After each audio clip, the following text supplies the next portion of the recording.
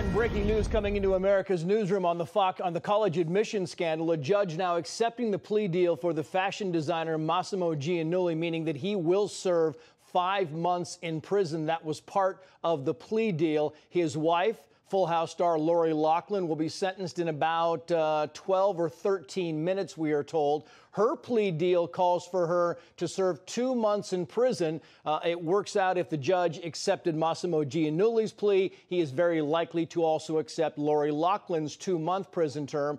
Remember, because of this plea deal, they are not allowed to serve house arrest. In other words, they have to go to prison. So, so we, when that happens, we don't know, but they will have to go to the prison. The judge did have some discretion as to whether he could accept this or he could ask for a tougher sentence. Apparently, he has decided to accept this, so that appears to be the parameters. This the couple will also pay about four hundred thousand dollars as in, in, a fine, um, and and the likelihood is is that Lori Loughlin will go to the same California upstate prison, a minimum security prison that Felicity Huffman went to uh, a few months ago. She served 11 days for her part in the college admission scandal. And for those who don't recall, Lori Loughlin and her husband Massimo Giannulli, uh, they actually they faked the application for their daughters to attend the University of Southern California, uh, putting forward that their daughters were actually crew team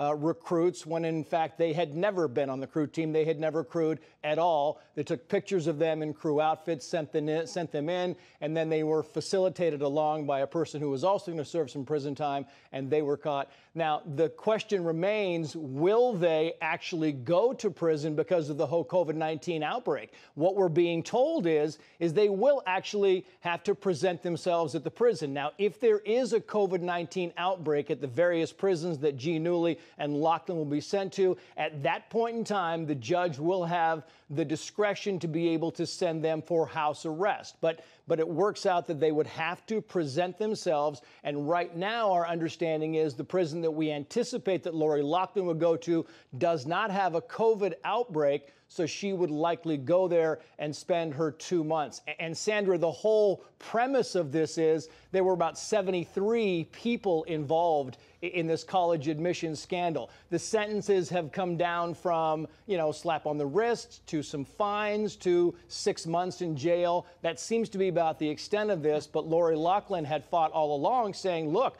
we're not guilty. We thought we were just doing this in a way that would benefit the college.